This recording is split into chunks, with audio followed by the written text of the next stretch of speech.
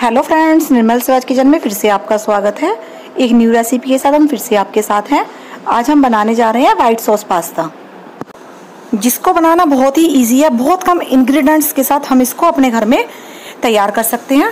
फिर आइए पास्ता बनाना शुरू करते हैं।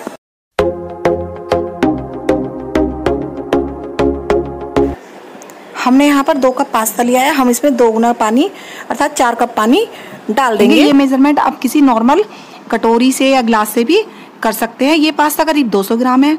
हमने दो कप पास्ते में चार कप पानी डाला है। चार कप पानी डालने के बाद हम इसमें एक छोटा चम्मच ऑयल डालेंगे और आधा छोटा चम्मच इसमें नमक डाल देंगे और इसको गैस पर बॉईल होने के लिए रख देंगे।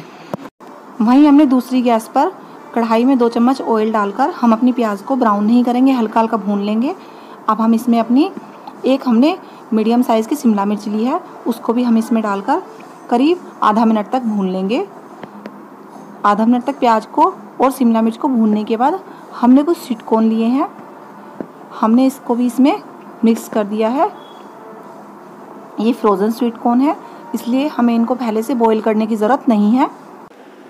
करीब एक मिनट में हमने इन तीनों चीज़ों को भून लिया है। अब हम इनको अपनी कढ़ाई से निकाल लेंगे। तब तक हम बीच में अपना पास्ता चेक कर ले। अब देख सकते हैं, हमारा पास्ता अच्छे से बॉईल होने लग रहा है। करीब पाँच मिनट के बाद हमने अपना पास्ता चेक किया है। आप देख सकते हैं, बीच में से थोड़ा कच्चा लग रहा है। अभी हम इसे दो से तीन मिनट तक और बॉईल होने देंगे। और हमने अपनी सब्ज़ी को प्लेट में निकाल लिया है। अब दोबारा तब तक हम पास्ता चेक करते हैं। अब ये बिल्कुल रेडी है। हमने अपनी गैस की फ्लेम को ऑफ़ कर दिया है।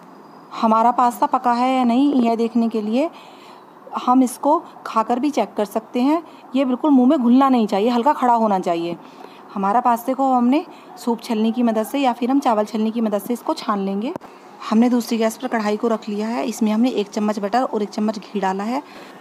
अगर आपके पास बटर नहीं है, अब आप इसमें केवल घी भी या ऑयल भी डाल सकते हैं। अब हम इसमें अदरक और लहसुन के पेस्ट को डालकर भून लिया है। लहसुन नहीं खाते तो आप इसको स्किप कर दीजिए।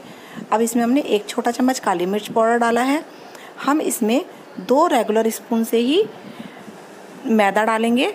आपके पास कॉर्नफ्लोर है तो आप कॉर्नफ्लोर डाल सकते हैं। मैदा या कॉर्नफ्लोर में से हम कुछ भी डाल सकते हैं और करीब एक मिनट तक हम इसको अपनी पोनी की हेल्प से लगातार भूनेंगे। इसमें लम्स नहीं पड़ने चाहिए।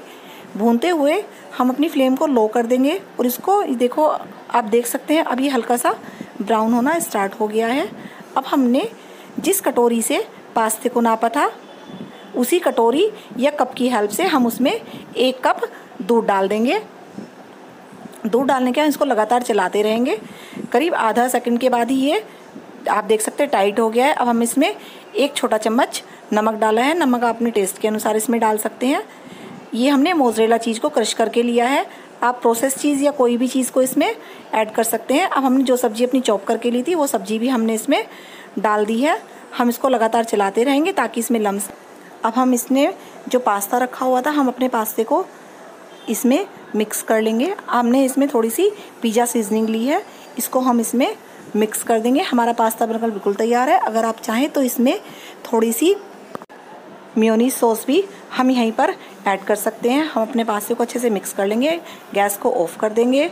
हमारा पास्ता बनकर बिल्कुल तैयार है। आप देख सकते हैं कितना क्रीमी लग रहा है, ये खाने में भी बहुत टेस्टी है। अगर आपको हमारी रेसिपी पसंद आई है तो प्लीज़ बनाइए, खाइए, सबको खिलाइए और हमारी रेसिपी को अपने फ्रेंड्स के साथ शेयर कीजिए।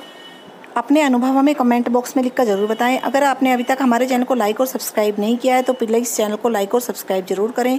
निर्मल स्वच्छ के जुड़े रहने के लिए आप सबका धन्यवाद।